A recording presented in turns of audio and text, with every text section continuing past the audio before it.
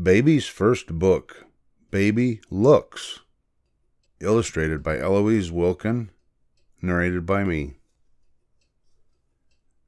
Look up in the treetop. What does baby see?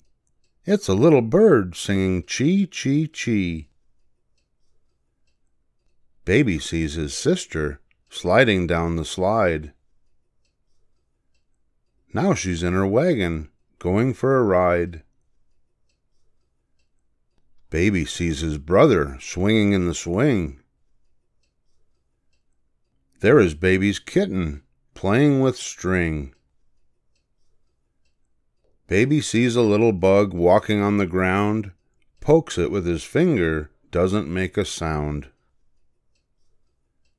Baby finds a buttercup and a little clover, leans way down and sniffs them, then he tumbles over. Baby wants to go to sleep, he is almost dozing. Mother come and sing to him while his eyes are closing. Rock-a-bye baby on the tree top. When the wind blows, the cradle will rock. When the bough breaks, the cradle will fall. Down will come baby, cradle and all. The End.